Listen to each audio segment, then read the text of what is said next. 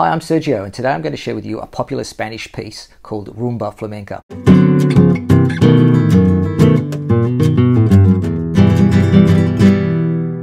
Before we start, be sure to go to my website at this link to download the sheet music and some of the notes. First of all, we're going to play through the entire piece, the entire arrangement, with the play along track underneath.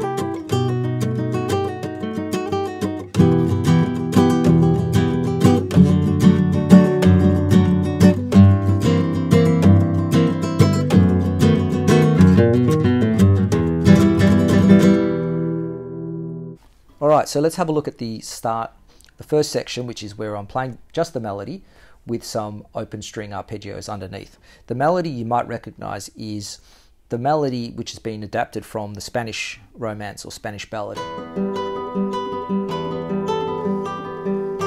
And I actually have done a video on this, so you can search for that on my channel.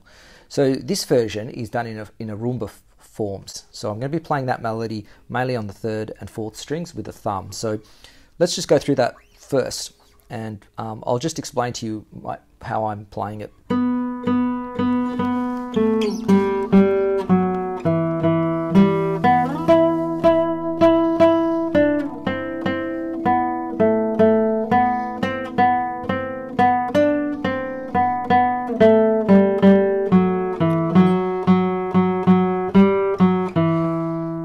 Notice that I've got this uh, three three two rhythm, and in your in your head you want to be thinking one two three one two three one two one two three one two three one two one two three one two three.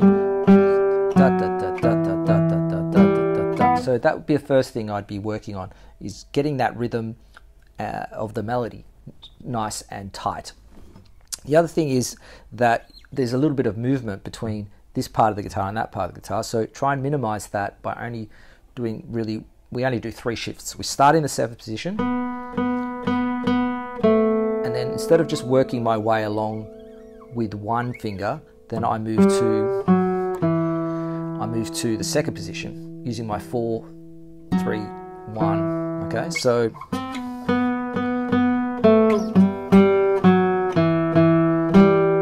And now I'm on the third string, sliding back up to the seventh position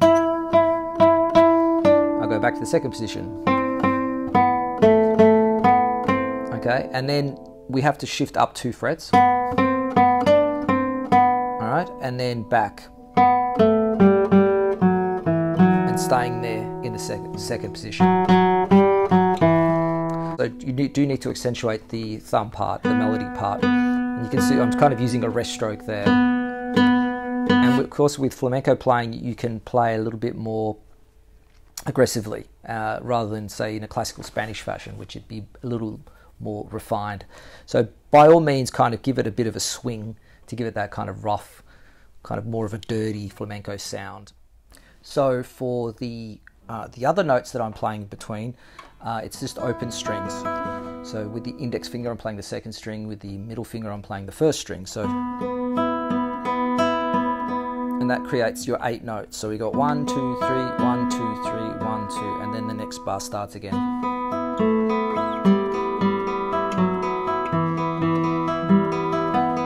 So forth. So we go all the way through that first section like that. You should be able to get relatively quick at that because uh, it's all kind of open strings.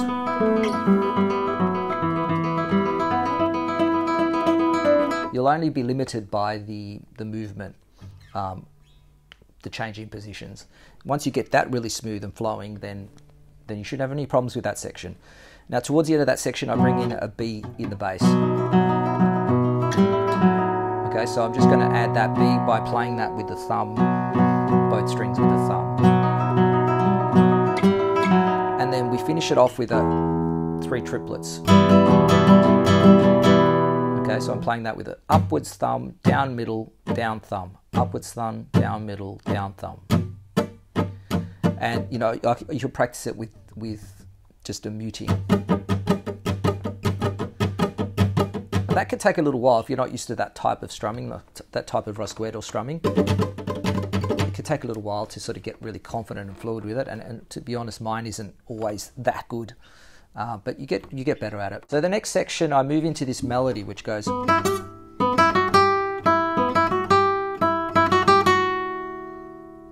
And then so that's that's the part that you really need to bring out. Uh, everything else is sort of supporting that.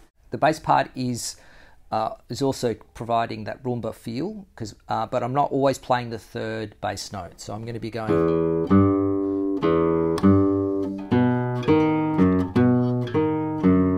And then I move into the next section. So that can also be quite strong. Uh, and then again, the middle notes are, will be filled in with uh, with the I and M fingers. Let's give that a try nice and slowly.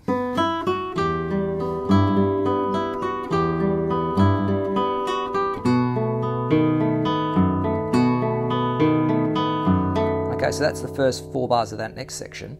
And then we move to with the bass, with the thumb.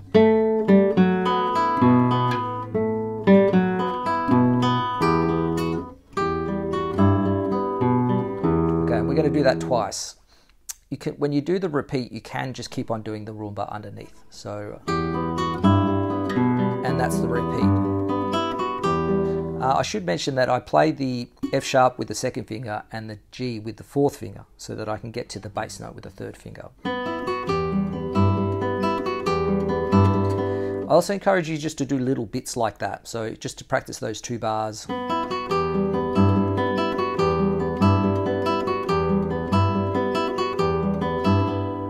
It is a, it's it's an advanced piece. There's some advanced techniques in this, uh, and the reason why it sounds so cool uh, in my opinion, is because we're playing melody with the bass and some accompaniment. So those three aspects really fill it in and make it sound kind of quite magical.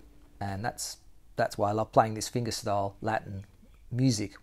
But you've got to keep the dance going. You've got to keep it in time. So do it as slow as you need to do it in order to keep it in time. So let's just finish off with that uh, bass part here. So yeah, bring out the melody in the bass. So those other notes, those accompanying notes can just be light.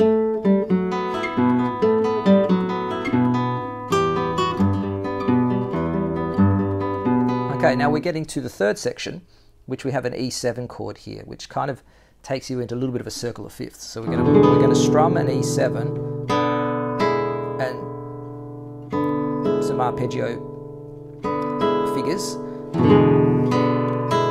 back to the seventh position little melody uh, in seventh position, and then we move to fifth position. Okay, so that's again, don't have to really do anything with the left hand there. It's all right hand, uh, right hand arpeggios.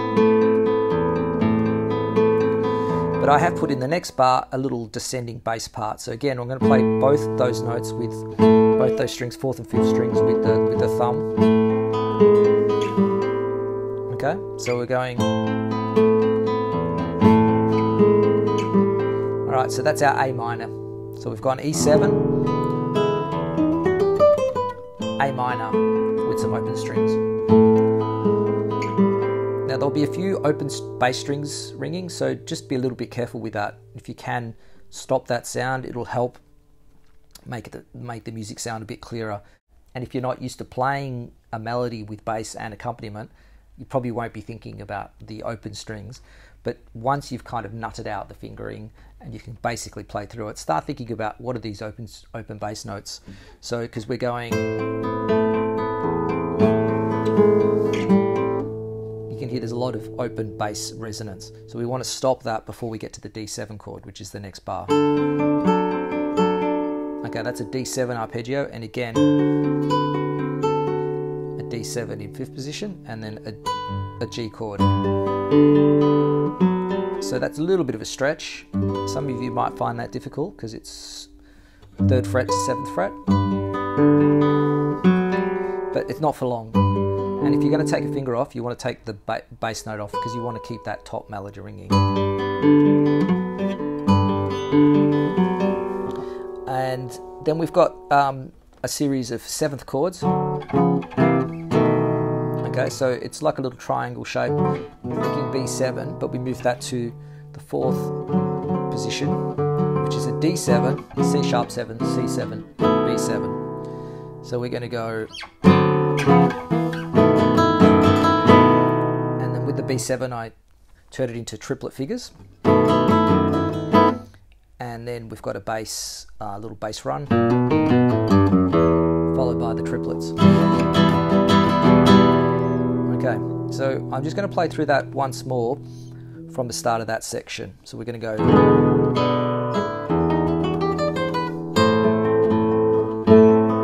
Sorry.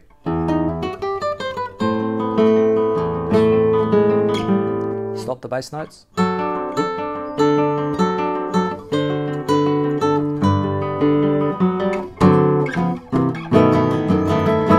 Okay. Final, sec- oh, sorry, second last section. Uh, we've got this little descending Spanish cadence, and I talked about the Spanish cadence in my previous video, and in this case we're doing a slightly different one. Like the last video we went, so you could you could also add this bit. Uh, it's just that with the with uh, with the solo version, and we don't have accompaniment here, I've just elected to do more of an arpeggio pattern. So it's going to look like this. And of course I'm playing that with the E in the bass, and then we move to the fifth position. So really it's just a D chord with a, a little pull off from 7 to 5. And then the C, uh, the C version, which is going to move down here, we need to play the bass here. So we're going to go and then we do it the same thing in uh, the B7.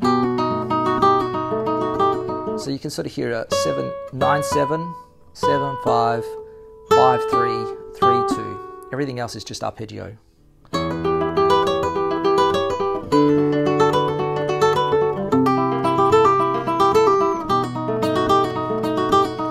And then I've decided to finish it off with um, the chords of the Spanish cadence, E minor, D, C, B uh, in, in this position here. So we're going to start off with an E minor, but we're playing like a full E minor, so we can do a big full strum.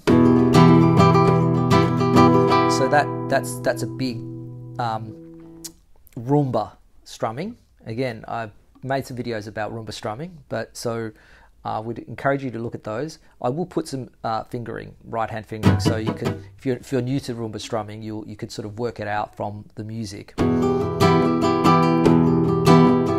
we've got an E minor, a D, and then a C7 with a G bass, and a B7 with an F sharp bass.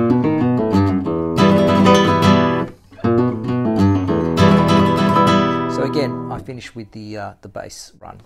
Um, you can move those sections around. You can repeat sections. The main thing is that you stay in time throughout. I've set the tempo at 180, which is quite fast but that should be like a, a tempo you want to eventually reach. But I can fa- be fairly certain that um, many of you will need to do it really slow. And it could be that some sections is faster than others. Uh, so practice those sections separately. It could be one of those pieces that takes time to put all put it all together, um, and you might just perform it or practice it, the sections that you're comfortable with. Uh, and I'm fairly certain that second section uh, is going to be the trickiest. I can just I just know that because it's fiddly. There's a lot of moving around and thinking about more than one thing. If you have any questions about the detail of this piece, please leave a comment and let me know what you think of this arrangement and if you'd like to hear more arrangements like this. If you like this channel, please subscribe and join my Latin guitar journey. I'll see you next time.